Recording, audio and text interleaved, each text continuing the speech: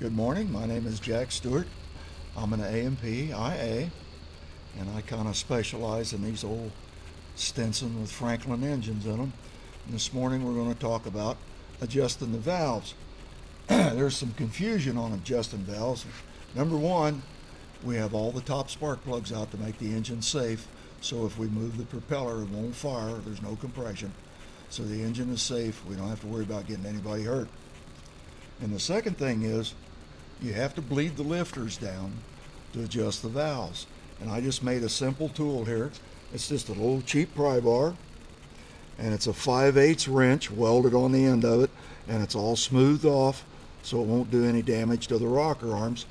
And you simply hook it over the rocker arm like this and if the engine's been running the oil will be pumped up inside the lifter. So you don't have to pry hard, just gently and you can actually watch the rocker arm come away from the valve.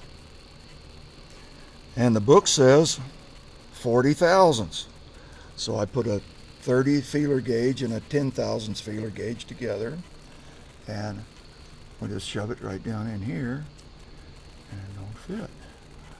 Ah, that valve's too tight. So we just take it. I've already got the adjusting nut, the lock nut loose just take a screwdriver here, back it off a little bit. Check it again. This is something you want to do with patience. Take your time. Okay. I feel a little drag, but I actually backed it off a little too much. So I'm going to tighten it up just a little bit. Now, if you've got a helper, he can be sliding the feeler gauge in and out while you're adjusting the nut. Okay. It's pretty good. Actually, just a little too tight. And back it up just a couple of thousandths. All right. Now release that. And you noticed how that rocker arm snapped down on the valve when you release it.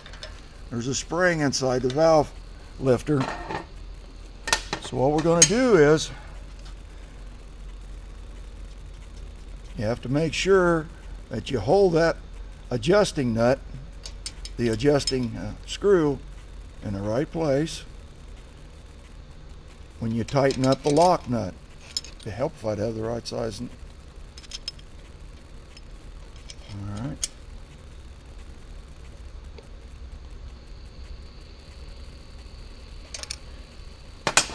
Now we'll check it again. Make sure our measurement didn't move. Pretty good. Franklin's real specific about this. If you don't, uh, if you don't have that on 40 thousandths, I guarantee you your engine won't run right. I run. Ask the guy that owned this airplane. Thanks. All right, that one's a little loose.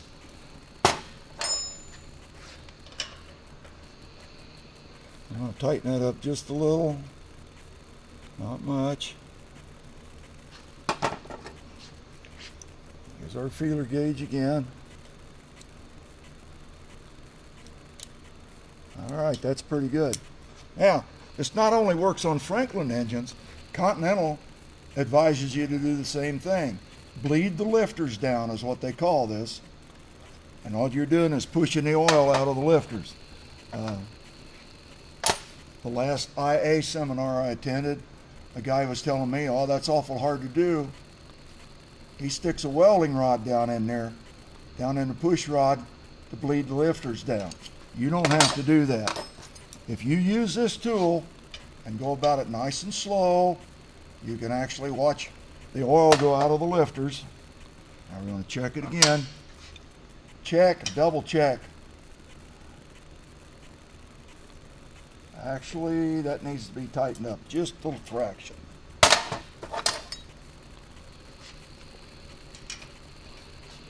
So,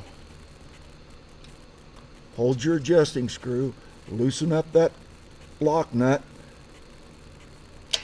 Turn that screw just a little bit.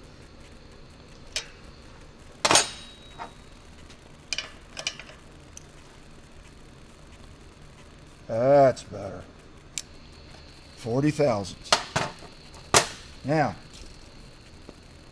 this happens to be cylinder number four, and it's easy if you do it in the firing order.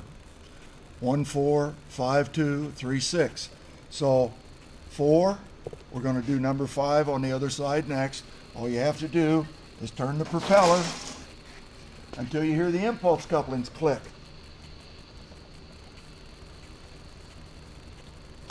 120 degrees.